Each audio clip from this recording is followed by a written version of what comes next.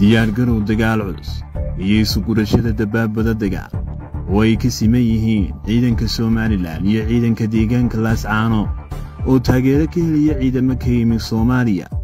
Ayaa ah dhaqdhaqaaqa ugu weyn ay samaynayaan. Dhinacyadii ku dagaalamayay gobolka soo. Ciidanka somalilan ayaa ku jira diyaargarow xooggan si ay mar kale gacanta ugu dhigaan magaalada laascaanood ee xarunta gobolka soo taasoo ay ka soo baxeen shan iyo labaatankii bishii hore kadib dagaal culus ay la galeen ciidanka deegaanka laascaano oo taageero ka helaya ciidamo ka yimi koonfurta soomaaliya.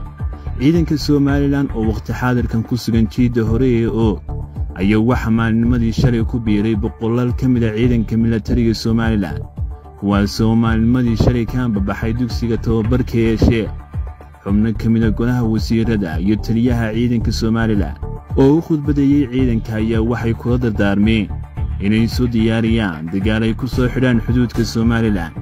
Dhankan kale ciidanka deegaanka laascaano ayaa dhinacooda ku jira diyaargarow xooggan oo isaga difaacaan ciidanka somalilan. Kuwaasoo hore u sheegay inaanay marnaba aqbalayn inay somalilan ka taliso deegaanada s s c. Dowladda puntland ayaa sidoo kale jiidaha dagaalka u soo rartay boqolaal ciidan oo ay sheegtay inay ku difaacayso laascaano falanqeeyaasha arrimaha geeska ayaa aaminsan in dagaalka ay isku diyaarinayaan labada dhinac u noqon doono. Mid jaangoyn doona ciddii ka talin lahayd gobolka soo.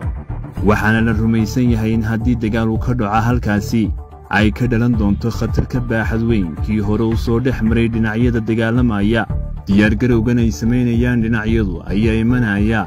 Xili weli la ururinayo meydadka dagaalkii shan iyo labaatankii bishii hore hay'adda caalamiga ee laanqeyrta case loo yaqaano i c r c.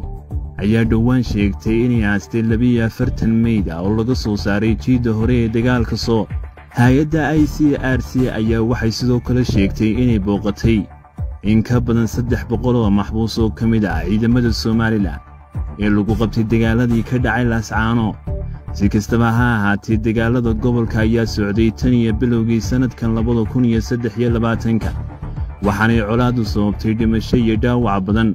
Burbur hantiyadeed oo baahsan iyo boqolaal kun oo qof oo ka barakacay guryahoodii.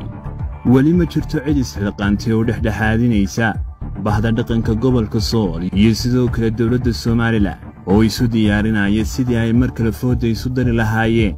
Haddaba daawade weji nooceeya ayay yeelan kartaa xaaladda? La filayo inay ka dhacdo gobolkaasi.